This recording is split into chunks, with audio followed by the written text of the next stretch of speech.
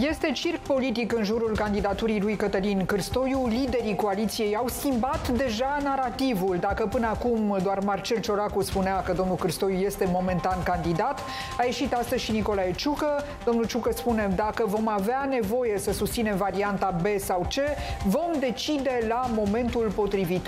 Rămâne întrebarea, ne apropiem de momentul în care Cătălin Cârstoiu va fi retras din cursa pentru primăria generală a capitalei? Surse uh, susțin că ieri, la ședința coaliției, Partidul Social Democrat ar fi venit în fața liberalilor cu propunerea susținerii lui Piedone. O propunere pe care liberalii au refuzat-o. Se caută în continuare uh, alte soluții, sunt negocieri. Haideți să auzim declarația făcută în urmă cu puțin timp de președintele PNL, Nicolae Ciucă. În momentul de față avem o singură variantă. Dacă se retrage, domnul Domnul. Deocamdată... Rezervă, aveți variante de rezervă? Păi da. Dacă vom avea nevoie să aplicăm varianta B sau varianta C, o vom face la vremea respectivă. Dar colegii PSD ca domnul Piedone. pe domnul Piedone? Și cum Ce anume? PSD ca domnul Piedone să fie susținut de coaliție? Nu v-am spus mai devreme că noi susținem doar un candidat care este agreat. În momentul în care vom ajunge la uh, acea situație, vom lua decizia împreună cu partenerii noștri de coaliție. Pentru că am pornit pe un drum împreună, normal este să mergem pe acest drum împreună cu un candidat agreat de către ambele partide. Îi mulțumesc, doamne Ioana Dogiu, Spot Media, în legătură telefonică directă. Bună ziua, mulțumesc pentru intervenția dumneavoastră. Bună ziua, mulțumesc pentru invitație. Uh, ne apropiem de un moment al retragerii lui Cătălin Cristoiu? Nu știu să vă spun acest lucru, pentru că um, politica e predictibilă numai în măsura în care este profesionistă. Amatorismul este impredictibil, are o mulțime de uh, variante. Ori noi ne aflăm în, în, în situația unui amatorism înfiorător al celor două partide. Uh, pentru că uh, reavoință n-aș înțelege de ce, adică nu te împuști cu un picior cu reavoință pe tine însuți. Um, ceea ce este cert este că să folosesc o formulă consacrată din alți ani, uh, un fleac s-au ciuruit. Uh, pentru că lasă că domnul Cârstoiu nu are exercițiu de om politic și se vede lucrul ăsta. Lasă că are o grămadă de răspunsuri pe care încă mai trebuie să le dea. Uh, lasă că partidele nu trag pentru el, dar în momentul în care de la vârful celor două partide este lansat acest mesaj de dubiu, când el tocmai ar trebui să fie, știți, ca avionul de la decolare care urcă uh, viguros ca să atingă viteza de croazieră pe care ceilalți candidați deja sunt. Deci dacă tu în timpul acestui moment de maxim efort, care ar trebui să fie de maxim efort și de maximă detentă, tu îi dai două ciomage în cap, ciomege în cap, de la vârful celor două partide, deja lucrurile sunt închise, că îl țin, că îl uh, sacrifică până la urmă rezultatul mă tem că același va fi. Uh, singurul lucru pe care îl pot vedea ar fi un soi de perversitate în care să-l macine atât de mult încât până la urmă să plece de bunăvoie, să nu fie ei nevoiți să anunțe că îi retrag sprijinul politic, ceva de genul ăsta, dar repet, e o speculație tocmai pentru că amatorismul politic este impredictibil. Pe surse am aflat că PSD s-a dus în fața liderilor PNL, în fața partenerilor, cu propunerea susținerii lui Piedone. Uh, și acum, având în vedere că în ultimul timp în această campanie s-a discutat mai mult despre surse decât despre declarațiile oficiale asumate, uh, avem tendința să credem, doamna Dogeiu, dumneavoastră credeți că PSD și-a dorit să-l susține sau își dorește în continuare să susțină pe Piedone? Eu cred că PSD nu are absolut nicio problemă cu susținerea uh, domnului Piedone. Și de ce ar avea? Adică ei sunt împreună cu Dan Voiculescu, sunt, nu, e, nu cred că e absolut nicio problemă. Deja PSD a pus la sectorul 5 un candidat, uh, contracandidat pentru feciorul lui Piedone, un domn, doar mama domniei sale a auzit de el, ca să zic așa. Deci, fără absolut nicio șansă uh, să fie uh, uh, votat, să-l învingă pe Piedone Junior. Deci, cred că pentru PSD asta ar fi varianta ideală, care uh, iar conveni lui Marcel Ciolacu din foarte multe motive, inclusiv care avea o șansă să bage pe USL un parlament pentru ca ulterior să-l folosească în viitorul mandat pentru, uh, ca pe un fel de UNPR, dacă vă duceți aminte, locul unde se colectau traseiștii și care venea să susțină majoritatea. Deci pentru PSD eu cred că ar fi varianta ideală. Acum problema nu e că PNL nu l-ar vrea principial pe piedone. Oh, oh, să lăsăm, să uităm cu principiile la PNL, mm, povestea închisă. Problema lor este că totuși mai iau un electorat cât de cât uh, a mai rămas alături de ei și un, mai ales în București, și un electorat care nu înghite chiar orice. Și acum să-l pui pe piedone cu clanul lui răspândit în toate instituțiile statului, cu problemele lor de integritate, lui de integritate, cu colectiv, cu toate, răspunderea morală, nu juridică, să nu intrăm în probleme, răspunderea morală pentru colectiv și așa mai departe, Uh, este foarte greu totuși, uh, e foarte, foarte greu să-l impui pe, uh, pe domnul Piedone, Partidului Național Liberal, fără ca practic liberalii să abdice total, să, să renunțe cu totul la brand, la stigă, la tot. Deci, nu știu ce va fi. În disperare de cauza asta s-ar putea să o facă. S-ar putea să o facă pentru că momeala va fi Uh, dacă vreți să-l susținem pe Ciucă candidat comun, trebuie să validăm Iată. ideea de candidat comun la capitală. Iată, și aici voiam vreți, să ajungem, da. Și dacă vreți să validăm ideea de candidat comun la capitală, uh, cu Cârstoi nu se poate, iată, aveți voi pe cineva mai bun, nu. Deci ce facem? Că altfel sare în aer ideea de candidat comun și adio domnul Ciucă candidat comun. Uh, da, da, mai sunt și alte voci care spun că până acum PSD-ul a făcut multe concesii pentru Partidul Național Liberal, inclusiv comasarea alegerilor uh, din cauza sondajelor care ar fi arătat un PNL uh, fragilizat și că toate astea ar fi fost în ideea susținerii lui Ciolacu la președinție candidat. Da, aici eu am două obiecții. Obiecția numărul unu ar fi că nu au fost atât de multe concesii sau, mă rog, au fost aparente concesii pentru că avantajul lor a fost contabilizat de PSD.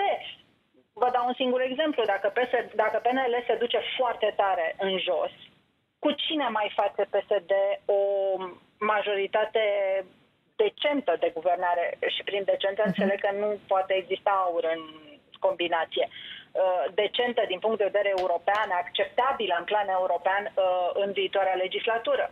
Au nevoie de PNL și ca să nu se ducă, au nevoie de un PNL cu ciucă. Dacă PNL se duce în cap, cine știe cine preia PNL-ul și în ce direcție o ia, de exemplu, spre uh, USR. Și atunci, sigur că și ei aveau interesul să-l stabilizeze pe Nicolae Ciucă și să stabilizeze PNL-ul.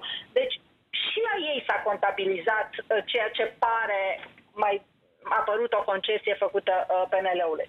În ceea ce privește pe domnul Ciolacu, eu nu am crezut niciodată și am spus de nenumărate ori la dumneavoastră emisiune că domnul Ciolacu are această dorință să candideze acum la președinția României. Nu zic în perspectivă. Vorbesc de anul acesta. Este foarte periculos știe lucrul ăsta, știe că dacă a intrat pe acel culoar, el este un culoar în care ori iese președinte, ori pierde tot, cum au pierdut ceilalți președinți PSD care au pierdut, să ne înțelegem, în afară de Ion Iliescu, nimeni nu a supraviețuit șocului înfrângerii.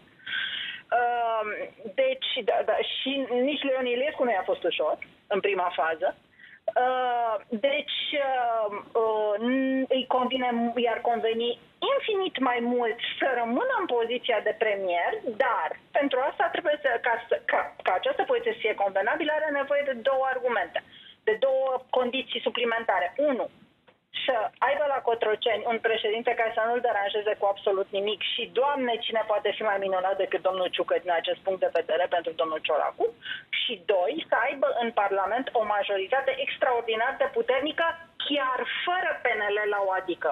De asta ar avea nevoie, și revin la ce spuneam la început, de un partid de tip UNPR cu care să adune traseiști de la aur, că precis asta se va întâmpla. Partidele populiste după alegeri întotdeauna fac uh, explozie și se adună. Amintiți-vă partidul Dan Diaconescu, de exemplu. Uh, foarte interesantă această analiză. O ultimă întrebare legată tot de Cătălin Cârstoiu, care înțeleg că și-a anulat ieșirile publice uh, pe care le avea, evident, un candidat uh, aflat în campanie, ar trebui să aibă minutele numărate, nu doar orele. Domnul Cârstoiu a anulat tot ce avea pregătit pentru astăzi, înțelegem, de asemenea pe surse. S-ar putea ajunge în punctul acela pervers, cum l-ați numit, în care domnul Cârstoiu să anunțe plecarea? Orice este posibil, da, domnul Cârstoiu, totuși, uh, cum să, oricât de uh, atacat, de uh, lovit a fost în ultimele zile, domnul Cârstoiu este totuși un medic spre deosebire de alții care s-au vânturat prin politică, un medic cu de valoare, un medic cu un portofoliu profesional uh, valoros, cu niște rezultate, inclusiv manageriale, foarte bune. Nu discut aici scandalurile momentului, spun doar că are ce apăra nu depinde, nu stă atârnat de politică. Ori a fi dispus să-ți joci absolut toată credibilitatea și absolut toată demnitatea până la urmă și profesională până la ultima fărâmă ca să te joace ciucă și ciola cu cum vor ei, totuși nu cred că domnul uh, Costoi ar fi dispus să facă așa ceva. Deci sigur că dacă va mai fi de trei, va mai fi împins cu vreo două declarații de genul ăsta, va pleca singur, nu. nu uh, absolut. Doamna Dogiu, da, pare, uh, ascultându-l pe uh, Nicolae Ciucă astăzi, pare că PNL și-ar dori mai mult plecarea uh, lui uh, Cătălin Cârstoiu din uh, uh această postură de candidat la Primăria Generală a Capitalei uh, și poate uh, să-l, să-l avanseze, să-l aducă din nou pe domnul Burduja. Nu cred că un candidat de partid uh, ar, al unuia dintre cele două partide, să ne înțelegem, ar rezolva în acest moment ecuația uh, problematică PSD-PNL în București, pentru că este o, o ecuație foarte problematică. Uh, ne întoarcem la ce discutam, că parcă ne învârtim în ziua cârtiței, ce discutam acum niște săptămâni, inclusiv în studioul dumneavoastră. Ce condiție trebuie să îndeplinească foarte importantă candidatul PSD-PNL, candidatul unic? Să ia cât mai mult din ambele electorate. Ori eu, domnul Burduja poate că ar aduna din electoratul PNL ceva mai mult, deși am mari îndoieli în acest sens dar nu știu dacă electoratul PSD s-ar duce în timp să-l voteze pe domnul Burduja cu domnul Piedone uh, ofertă uh, de cealaltă parte. Mm. Deci, uh, electoratul uh, uh PNL-PSD are două mari uh, zone de hemoragie masive. Din zona liberală, hemoragia către uh, uh, domnul Nicușor Dan, către PSD, uh, din zona PSD, hemoragia către domnul Piedone, da? Ori astea trebuie să, sunt două breșe pe care un candidat comun trebuie să le închidă, altfel e mort, nu are absolut nicio șansă. Ca să ia din ambele părți, trebuie să fie mai puțin perceput al uneia dintre ele, să aibă o alură de independent, ceea ce, în mod paradoxal, uh, în, în ecuația noastră uh, absolut originală, independent electorală, o absolut originală, independent nu înseamnă ce înseamnă alții. De exemplu, toate cercetările sociologice arată că independentul în această campanie, conform percepției electoratului, este, ce să vezi, domnul Piedone, care este președinte de partid. Uh-huh. Este președinte de partid. Dar Nicușor, Nicușor Dan, fiind primar în funcție nu poți să zici că mai e, e deja asimilat sistemului cum ar veni uh, și este susținut de o coaliție de partide. Uh, domnul Cârstoiu, când îl ai de o parte pe domnul Ciolacu și de o parte pe domnul Ciucă, s-a închis lucrarea nu mai ești niciun independent, ești asociat cu puterea și rămâne domnul Piedone. Deci aici sunt marile încercări în găsirea unui candidat, ori timpul este atât de scurt, timpul rămas, încât nu știu cum o vor scoate la capăt și nu exclud absolut deloc, dar absolut deloc nu exclud posibilitatea ca uh, până la urmă liberalii să cedeze și mai strâmbându-se, mai ținându-se de nas, mai așa să se ducă către domnul Piedone, sub acest argument. Vreți candidat comun? Păi hai să-l scoatem la București, că altfel nu se poate. Mulțumesc mult, Ioana Enedogeiu, pentru comentariul dumneavoastră. După cum vă spuneam, uh, Cătălin Cârstoiu și-ar fi anulat ieșirile publice uh, pentru orele următoare. Uh, sigur, există întrebarea ce va face medicul Cârstoiu pe fondul acestor discuții legate de o posibilă retragere a sa.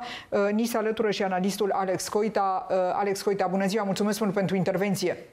Bună ziua, mulțumesc și eu de invitație. La ce ne așteptăm din partea medicului Cârstoiu în zilele următoare? Ce știm este că în momentul acesta candidatura, depunerea candidaturii sale a fost uh, lăsată pe săptămâna viitoare, deși erau discuții uh, legate de o urgentare a depunerii candidaturii, dacă nu mă înșel, chiar mâine. Deci nu se va mai întâmpla, se va întâmpla probabil la începutul săptămânii viitoare, dacă se va întâmpla.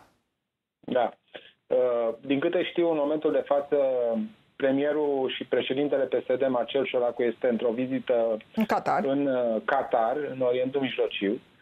Uh, deci mă aștept ca o decizie privind candidatul Cârstoiu să fie luată atunci când acesta se va întoarce în România. Înțeleg că mhm. asta se va întâmpla spre weekend. Deci va mai dura câteva zile. Pe moment, vedem tot felul de sondaje. Acest sondaj pe care l-ați menționat dumneavoastră e un sondaj în care Cârstoiu arată mai bine decât în altele. Am văzut sondaje în care Cârstoiu este cu o singură cifră. Mă rog, hai să spunem că uh, nu sunt uh, chiar 100% uh, perfecte aceste sondaje și mi se pare puțin uh, exagerat să-l prezint pe Cârstoiu cu o cifră, nu cred că are o cifră, dar uh, este aproape cert că uh, aderența lui la publicul, uh, la votanții atât ai PSD cât și ai PNL sunt, uh, este redusă. Și așa cum uh, spunea și doamna Dogeu mai devreme, există această hemoragie de votanți aparent de la PSD-PNL care au între 40 și 50%, cam în toate sondajele pe vot politic la București,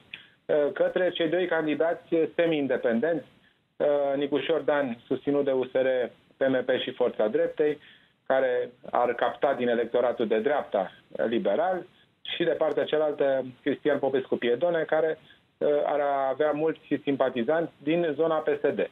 Deci aici este o mare problemă și, sincer, dacă mă întrebați la nivel de intuiție, de feeling, probabil că se va decide în curând uh, înlocuirea candidatului Căstoiu Bun, cu acum, altcineva. Alex Coita, PSD-ul avea sondaje din care rezulta de multă vreme că Piedone se află în, frontul, în, în fruntea clasamentului.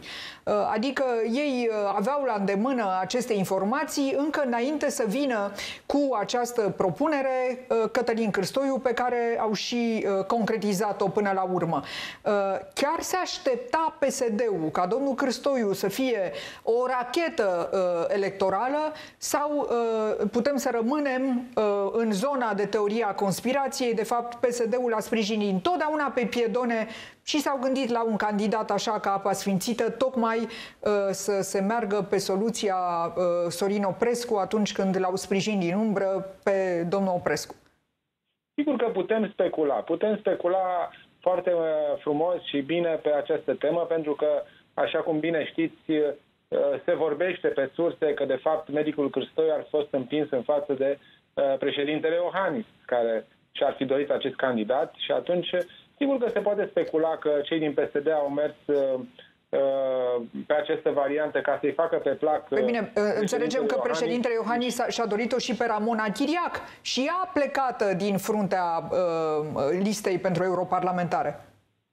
Este corect, este corect, da, dar acolo, nu știu, n-am înțeles exact. Speța, mi s-a părut ceva relativ uh, bizar, uh, dar acum, sigur că până la urmă, obiectivul celor două partide este să se valideze electoral, pentru că această coaliție PSD-PNL este bătută în cuie. Nu poți acum cu o săptămână sau două săptămâni înainte de depunerea data limită de depunere, sau nici nu știu, e de zile până la data limită de depunere a candidaturilor, să spui uh, uite, noi am decis să susținem pe Cristi Piedone și voi liberal faceți ce vreți. Și liberal să spună bine și noi să-l susținem, îl punem pe Burduja. Și ce se întâmplă? S-a rupt alianța. Cam da, rupt, și cum rămâne cu listele comune de la europarlamentare, și nu? cu listele comune, adică e, e absolut aberant. Plus, mai, uh, mai spun o chestie. Ce faci dacă, ipotetic, te decizi să-l susții pe Piedone, tu PSD, și vine aur în spatele lui și se urcă pe piedone, încearcă să-l capitalizeze. Păi te-ai contaminat cu aur, ca să spun așa. Chiar dacă a văzut că piedone, da. a jucat inteligență, a ferit să se asocieze cu Simion sau cu alții. Nu, Piedone a spus, evident... eu aștept sprijin din partea tuturor, dar nu mă duc uh, să mă afișez cu George Simion. Da, este adevărat. Probabil că aștepta tocmai uh, să vadă dacă va primi susținerea PSD. Deci asta evident e o problemă. PSD nu vrea să se contamineze cu imaginauri. Este o chestiune absolut clară. Dar există, este și asta uh, un risc. Mm, greu de zis ce se va întâmpla. Mi-e foarte greu să estimez pentru că uh, până la urmă uh, da, PNL ar putea să meargă pe o soluție de compromis, dar să nu uităm, să nu uităm că se discută acum și se va discuta în următoarele două luni și problema prezidențialelor. Ori eu nu, nu, nu pot să cred că Marcel Ciolacu uh, chiar vrea să-și minimizeze orice șansă de a ajunge la Cotroceni. Vă dați seama că dacă PNL-ul înghite găluși ca piedone, care într-adevăr, așa cum se spunea mai devreme, e foarte amară, pentru liberal și greu de înghițit. Uh, cu siguranță nu se mai pune problema să uh, intre negocieri privind scaunul de la Cotroceni. Părerea mea. Și atunci ești dispus să sacrifici orice șansă de, la un culoar către uh, prezidențiale ca să îl pui pe Piedone, primar Piedone, care oricum a jucat cumva la uh, offside împotriva PSD-ului, că PSD-ul este cel afectat în primul rând de Piedone. Deci nu știu ce să spun. Pe de altă parte să nu uităm că mai există și Gabriela Firea, care uh, evident. Care e pe locul al treilea la europarlamentare, dar pare că nu își dorește... Treilea, dar și doamna Chiria era pe locul întâi și da. nu mai e. Adică asta, nu cred că asta ar fi principalul obstacol.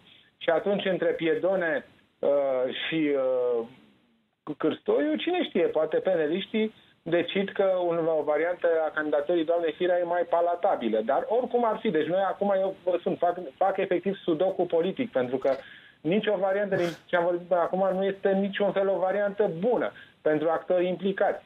Deci nu există, nu există nicio soluție, iar faptul că s-a ajuns aici pe data de 16 aprilie, să ai un candidat care aparent, nu că este neviabil, că putea fi viabil dacă era mai bine construit, dacă poate avea mai multă Uh, sprijin la nivel de consultanță și poate și sprijin la nivel de politic, dar un candidat care nu prinde aderență la publicul tău, care totuși, votanții tăi care sunt mulți, adică 40 plus la sută, ai o problemă gravă. Și nici nu poți să rupi alianța la București uh, din cauza asta. Adică e posibil inclusiv să meargă cu Costoiu până la capăt, să-și asume un eșec pe da. partid și să bată palma cu câștigătorul, indiferent probabil Pierdone sau poate cine știe Nicușor Dan, ca să Uh, ca să reușească să împingă niște proiecte uh, în Consiliul General. Mulțumesc mult, Alex Oita, pentru această analiză. Spitalul Sfântul Pantelimon, cel despre care s-a vorbit în ultimul timp atât de mult, uh, pare așa o sursă de informații care mai de care mai interesante. Cetățeanul.net scrie că la Sfântul Pantelimon au fost făcute zeci, poate sute de investigații remene la negru, pe un aparat fără autorizație de funcționare, sub acoperirea unor așa zise teste de calibrare, adică veniți oameni voluntari ca să înțelegem noi dacă aparatul acesta funcționează sau nu, uh, prilej pentru cei de la Sfântul Pantelimon să facă niște bani la negru din remeneuri făcute acolo. Îi mulțumesc foarte mult domnului Cezar Irimia, este președintele Federației Asociațiilor Bolnavilor de Cancer din România. Bună ziua, mulțumesc pentru intervenție. Bună ziua, mulțumesc pentru invitație. Uh, domnule Irimia, uh, se știe, remeneurile nu sunt uh, analiza cea mai ușoară uh, și cea mai accesibilă din România. Sunt multe spitale care ne spun nu ne merge aparatul, uh, mergeți în altă parte, duceți-vă la privat dacă vreți uh, un RMN. Iată că la stat, sub acoperirea unor teste de calibrare, se fac, dacă e să avem încredere sau s-ar face ca să fim mai mai, uh, mai, mai uh, atenți, uh, remeneuri la Spitalul Sfântul Bartolomeu plătite la negru. Uh, este condamnabil dacă se demonstrează a fi reală informația, uh, deoarece pun în pericol și viața pacienților atât timp cât acest RMN. Uh, investigația nu este foarte invazivă, dar atât timp cât nu are o autorizație de funcționare, cu siguranță poate pune într-un fel sau altul viața în pericol a pacienților investigați aici. Cât despre plata la negru este condamnabil, dar în sistemul de sănătate condus condus de Marele Rafila, se întâmplă peste tot asemenea derapaje și nimeni nu ia atitudine. Nu condamn medicii, ci cât condamn sistemul care nu are politici coerente de funcționare, iar noi, pacienții, nu putem decât să ne rugăm la bunul Dumnezeu să ne mai da zile pentru că nu avem medicamente, nu avem acces la investigații, nu avem mai nimic și domnul ministru reclamă deschiderea unui spital din fonduri private. Cam asta e activitatea domnului ministru. Revenind wow. la întrebarea dumneavoastră, este condamnabil și dacă se demonstrează a fi reală informația, nu pot decât să cer uh, pedepsirea, uh, pedepsirea celor vinovați și chiar ridicarea dreptului de liberă practică de către Colegiul Medicilor din România. Acum, domnule Elimi, ați văzut zilele trecute reacția asistentelor medicale de la Spitalul Sfântul Pantelimon Român care fugeau de jurnaliști. Ehm, există tot soiul de, de informații apărute în ultimul timp în legătură cu felul în care medicii sau asistentele de acolo ehm, erau mai degrabă absenți decât prezenți. Uh, da, iarăși e un lucru condamnabil, dar uh, plecând de la vârful Ministerului Sănătății, care arată permanent că presa este de vină pentru derapajele din sistemul de sănătate, pentru aprobările de funcționare date așa peste noapte, doar presa este de vină care de fapt semnalează realitatea și cuiva nu-i, nu-i convine realitatea. Deci de la vârful Ministerului au luat uh, exemplu și asistentele din Spitalul Sfântul Pantelimon. Da, nu. Uh, Permiteți, care... Permiteți-mi să am, o, să am o rezervă. Nu cred că doamnele acelea de la Spitalul Sfântul Pantelimon uh, au nevoie de exemple sau din altă parte sau uh, uh cele de la uh, unde, Botoșani, acolo unde a murit uh, acea femeie însărcinată, aveau nevoie de un exemplu uh, dintr-o instituție. Uh, am văzut, angajările se făceau pe șpagă, uh, nu știm, nu s-a vorbit încă, uh, sau nu, poate că nu se va vorbi niciodată la Sfântul Pantelimon, despre un lanț de acesta condiționat financiar, dar vom vedea care vor fi rezultatele uh, anchetelor demarate de Corpul de Control al Ministrului. Cu siguranță asta vreau să subliniez, pentru că sistemul de sănătate în România este bolnav, este plin de politic, imixtiunea politicului în sănătate a dus la aceste șpăgi în spitale pentru angajări și pentru diferite favoruri în ceea ce privește uh, alimentarea spitalului cu diferite, uh, eu știu, produse uh, sau uh, cu asistență medicală aparatură medicală și consumabile medicale. Cam asta s-a întâmplat în ultimii ani sub conducerea politicului și imixtiunii în sistemul de sănătate în România, iar noi numărăm morții care în oncologie avem decese mai multe cu 48% decât media europeană și în fiecare an peste 20.000 de decese evitabile. Despre asta vorbim în România zilelor noastre. Iar familiile tinere care migrează în Uniunea Europeană, dar nu pentru câștiguri financiare, ci pentru a le asigura copiilor acces la educație reală și la sistem de sănătate real. Chiar și medicii pleacă din aceleași motive ca și tinerii din țara noastră.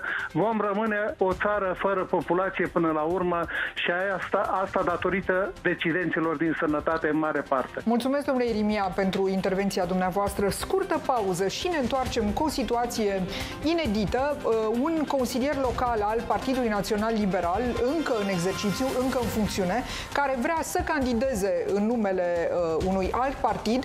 Despre cine e vorba, vă spun imediat.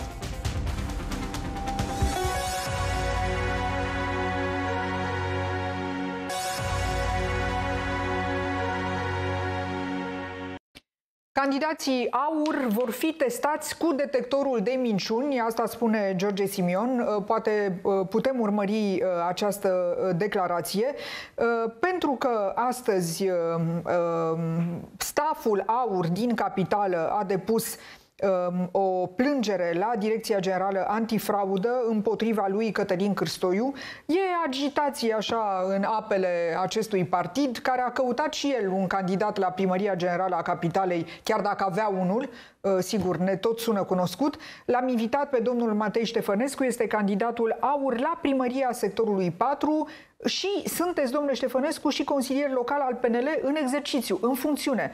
Ce ați făcut? Ați trecut de la liberal la aur? Bună ziua, în primul rând. Bună Mulțumesc ziua. pentru invitație. Uh, da, am trecut de la, eu consider fostul Partid Național Liberal, la aur, dat fiind faptul că PNL astăzi nu mai există. A devenit o simplă anexă a PSD în cadrul Partidului Comasat Român. De altfel, de câțiva ani putem spune că nu mai aveam un partid național-liberal acolo.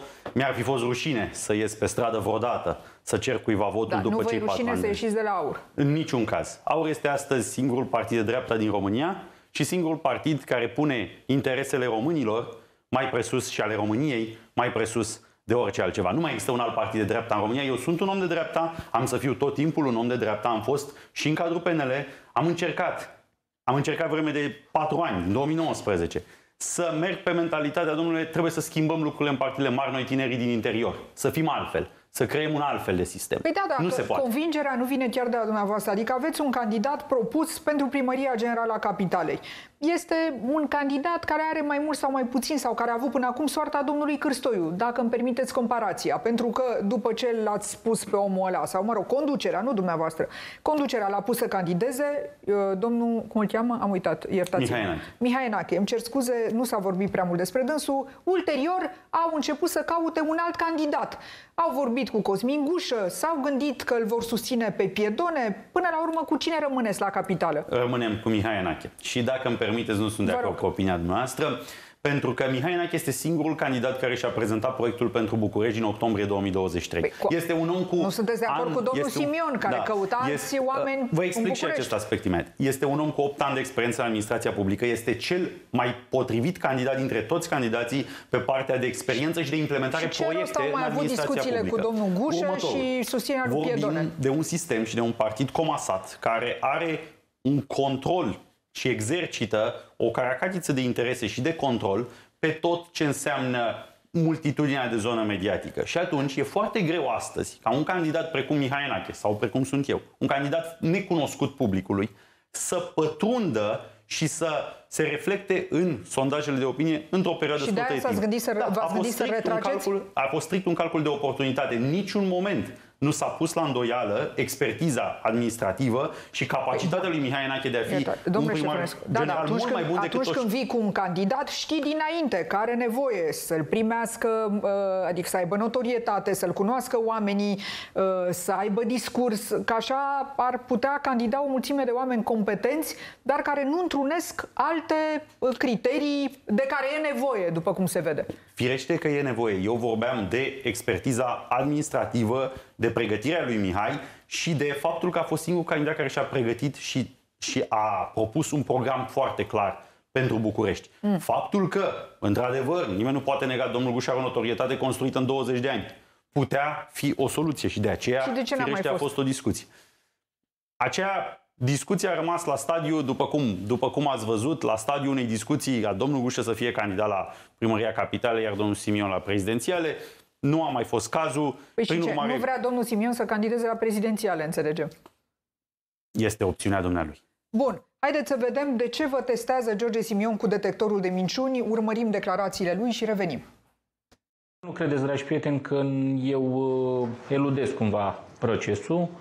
Sunt uh, gata să apar în fața oricărui detector de minciuni și să fac testul poligraf și fac o provocare către toți președinții de partide să facă și ei la fel. Să vedem dacă au curaj.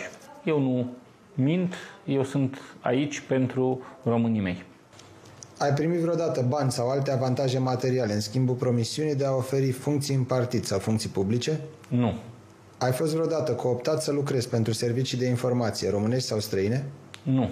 Ai avut vreodată înțelegeri cu partide oponente sau alte entități care să contravină intereselor partidului tău? Nu. Este sincer. N-a fost greu, n-a durut, n-am nimic de ascuns și e o chestiune voluntară în aur. Veniți și voi să candidați, mai sunt două săptămâni până când se depun dosarele de candidatură la alegerile locale și vreau să vă lansez această provocare. Haideți să schimbăm clasa politică murdară. Sunt specialiști, oameni care se pricep la chestiunea aceasta, detectorul de minciuni, uh, în fine, cum funcționează legea, care spun că detectorul nu funcționa atunci când George Simion uh, primea aceste întrebări. Personal nu mă pricep, deci nu pot să mă exprim, dumneavoastră sunteți avocat. Funcționa sau nu detectorul? Din tot ce am văzut acolo, din imaginile disponibile, da? clar, detectorul funcționa da. și mai mult decât atât. Cred că onestitatea președintelui George Simion nu poate fi pusă la îndoială și patriotismul său dincolo de da, un el detector a pus de la minciuni. îndoială uh, uh, onestitatea dumneavoastră? V-a testat cu detectorul de minciuni înainte să vă pună candidat la primăria sectorului 4? Nu, Nu. dar... Urmează- dar, urmează?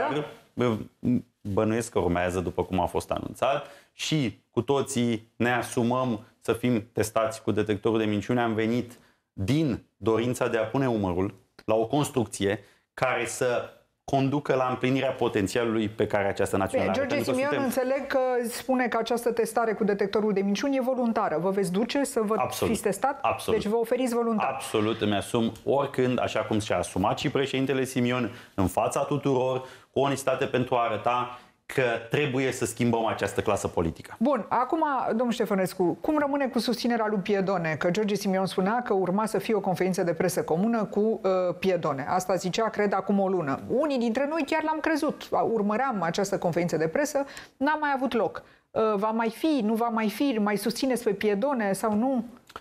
Vă dați seama că e absolut uh, imposibil să vă răspund eu la această întrebare, însă, după cum am văzut, noi avem un candidat pe Mihai Enache cu un program foarte clar asumat, cu un program pentru București. Am prezentat toți candidații la sectoare. Avem o viziune pentru București. Eu la sectorul 4 am o viziune clar conturată de a transforma sudul Bucureștiului într-una, într-un pol de creștere economică în Europa de Sud-Est. Nu pot să vă răspund, dar din cum am văzut eu personal, Așa. campania domnului Piedone, aș crede că ea se îndepărtează de valorile și de obiectivele aur. Opa, de ce?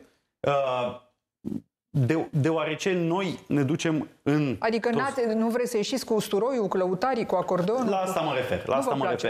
refer. Aș vrea să văd, aș vrea să văd și cred că, domn, că, domn, că domnul Piedone sper că are și un proiect pentru București. Odată ce l-am vedea, ar putea exista firește Păi o discuție uitați, în acest sens. sunt dar- informații că PSD ar vrea să-l susține pe Piedone, uh, doar că liberalii se opun. Nu, uh, probabil ar vrea să susțină pe oricine, dat fiind faptul că ne-au propus un candidat cu probleme grave, cu a, care a comis fapte grave de abateri de la legislația privind incompatibilitățile, Bun, a, de la spuneți, legislația a fiscală. comis, există prezumția de nevinovăție, nu avem un verdict în ceea ce Aceasta privește este pe Cătălin opinia noastră Cârstoiu. și de aceea am formulat Da. și această sesizare la direcția... De-aia era nevoie să subliniem faptul că este o opinie, nu e o Este, certitudine. este da? o opinie și dar este Dar o de opinie ce, de ce conturată... ați făcut plângere la Direcția Generală Antifraudă? Pentru ce? Da, pentru Împotriva că domnului Cârstoiu? am, făcut, am depus o sesizare în raport de domnul Cristoiu și de societățile din acest grup de firme numit Anemona, dat fiind faptul că pe, această, pe aceste societăți sunt patru mașini de lux, trei apartamente, dintre care un penthouse, pe societăți care derulează activități de consultații medicale cu o cifră de afacere anuală net inferioară valorii acestor bunuri. Este evident faptul că nu Ați poți... făcut calculele? Am, am de, din tot ceea ce rezultă din informațiile publice, firește, am făcut calcule și am depus, rezultă indicii foarte clare că toate aceste bunuri nu au fost achiziționate în scopul derulării unei activități economice. Pentru a achiziționa un bun pe o societate, pentru a deduce cheltuielile, pentru a apela la taxarea inversă din privința TVA, trebuie ca acel bun să fie utilizat în interesul respectivei societăți. Ori aici avem indicii foarte clare că acelea sunt bunurile personale ale domnului Crăstoiu, pe care dumnealui, pentru niște avantaje fiscale ilicite, le-a inclus în cadrul acelor societăți. Și e foarte important să ne ducem și în zona de incompatibilitate, pentru că se tot vorbește, dar nu se explică ce înseamnă această incompatibilitate a dom- a doctorului Crăstoiu. Dumnealui nu a greșit pentru faptul că era un medic care acorda consultații. Asta poate face orice medic. Ci pentru faptul că în vreme ce era director de spital, și în sau un salariu în calitate de director de spital, acorda și consultații în privat. Păi colegul dumneavoastră, Ionus Troie de la PNL, da, sunteți coleg în continuare, nu? Sunteți... Nu, nu. Nu, Nu mai sunteți colegi? Păi nu, suntem sunteți colegi. consilier local la PNL acum? Nu, eu sunt consilier local în funcție, dar nu mai fac parte din Partidul Național Liberal. Colegii, foștii mei colegi m-au A, bun, ați fost a, ales pe listele PNL-ului. Am fost ales în 2020 pe listele PNL. E, domnul Stroie spune că dacă într-un an, ani, n-a spus nimic despre dosarul ăsta, povestea s-a prescris. Mm, nu este așa. Uh, cred că este mai puțin de un an de la momentul acelei consultații. În niciun caz nu s-a prescris. Nu consultația, ci raport, uh, raportul Corpului de Control care a fost depus în 2020, cred că la asta făcea referire domnul Stroie care a fost da. depus la uh, Corpul de Control al premierului în 2020. Într-adevăr, consultația care a apărut în presă Vorbim e din de o, 2023. De o situație de incompatibilitate distinctă da. de cea la care făcea referire domnul Stroie, probabil tocmai pentru a muta subiectul. Bun, acum, uh, domnul Ștefănescu, dacă e să ne uităm la colegii dumneavoastră de partid, că poate sunt respectatori care vor să voteze aur, ei se uită prin oraș și văd așa, că îl pot vota pe Vlad Țepeș, pe Mihai Viteazu, spuneți că sunt și alții, eu pe ăștia am văzut, Uh, de ce nu aveți curaj să apăreți Au... cu fețele dumneavoastră, cu mesajul, cu numele? Că dacă îl votezi pe Vlad Țepeș, pierdeți, nu? Uh, sunt două discuții distincte. Apărăm și cu figurile noastre, dar da. mai mult decât atât, e fo- este foarte important și este o campanie foarte bună. Pentru că noi ceea ce ne asumăm în fapt și ceea ce votează oamenii atunci când votează aur, este conduita acestor înaintași ai noștri. Oameni care au pus interesul național. E bun, George interesul... Simion spunea că, și spunea public că nu știe între ce an a domnit Vlad Țepeș. L-au întrebat jurnaliștii, Eu... a zis, nu știu, da? Eu pot să vă spun chiar acum, între 1456 și 1462. Și am mai avut încă o domnie în 1476. Da, iată, ați spălat uh, onoarea partidului, ca să spun așa. Pot să vă spun anii și celorlalți domnitori care apar pe afișe. Nu, lăsați că nu suntem aici. Da. Dar ceea ce e important Țepeș... dincolo de ani, da, următorul lucru, și vrut să văd, așa. vă dau un exemplu. Ați făcut și scenete, da. și o domniță, un domn care să prefacă. Aș vrea să sunt... văd, da? aș vrea să văd un președinte care să conducă România cum a condus Vlad Țepeș țara românească, care să pună interesul național mai presus de orice altceva. Și cine care să, să fie președintele la Că George Simion nu candidează, nu? N-am spus că nu candidează. Eu aș vrea să văd un președinte ca George Simion. Eu aș vrea să-l văd pe George Simion președintele României și sper să-l convingem să candideze. Și cred că ar putea fi un președinte care să conducă precum Mircea cel Bătrân, Vlad da. Țepeș, da. Mihai Viteazu sau Ștefan cel Mare. Cum adică? Mari lideri ai neamului românesc. Punând interesul național și interesele românilor mai presus de orice altceva. Vă dau un exemplu. Da. În dosarul Schengen, n-am văzut un lider al nostru, al României, de la nivel de uh, președintele Iohannis, premierul Ciolacu, care să se lupte pentru interesul național la Bruxelles sau în raport cu Austria, cum s-a luptat, de exemplu, Mircea cel Bătrân cu Imperiul Otoman. Sau Vlad Țepeș cu Imperiul Otoman. Sau cum Ștefan cel Mare a reușit cu o țărișoară, cum era Moldova în Evul Mediu, să reprezinte un înalt pilon în relațiile internaționale din Estul Europei. De ce v-ați dus la sectorul 4, domnul Ștefănescu? Acolo băluță stă destul de bine în sondaje, deci practic nu aveți nicio șansă. Pentru că sudul Bucureștiului are o nevoie uriașă de dezvoltare. Investițiile care s-au făcut în sectorul 4 nu aduc dezvoltare trăim într-un sector cu zeci de mii, dacă nu sute de mii, de oameni care trăiesc în sărăcie și într-o stagnare din punct de vedere al dezvoltării. Proiectul meu este să aduc și să conturez un proiect clar de investiții strategice pentru sectorul 4, care să ducă la o creștere reală Aveți a nivelului de trai. ceva, caravană, aur, faceți consultații medicale, le luați tensiunea, așa cum s-a întâmplat în alte zone ale țării cu caravanele aur în sectorul 4? Momentan nu, caravana medicală este acum, de exemplu, în județul uh, Prahova. A, merge bun. prin, Aveți merge una prin singură sau sunt mai multe?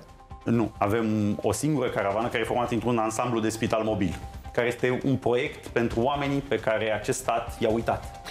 Domnul Ștefănescu, mulțumesc și vă mai aștept, că e bine să vedem că sunt niște oameni care candidează până la urmă, dincolo de pozele eh, lui eh, Vlad Țepeș, eh, sigur, pe care înțeleg că l-admirați cu toții. Scurtă pauză. Ne întoarcem cu ultimele informații despre decizia Israelului de a ataca crunt uh, Iranul. Aceasta va fi riposta, va fi o ripostă mare, o ripostă de anvergură. Aceasta este hotărârea pe care a luat-o cabinetul de război al lui Netanyahu. Ne întoarcem cu toate informațiile în câteva minute după publicitate.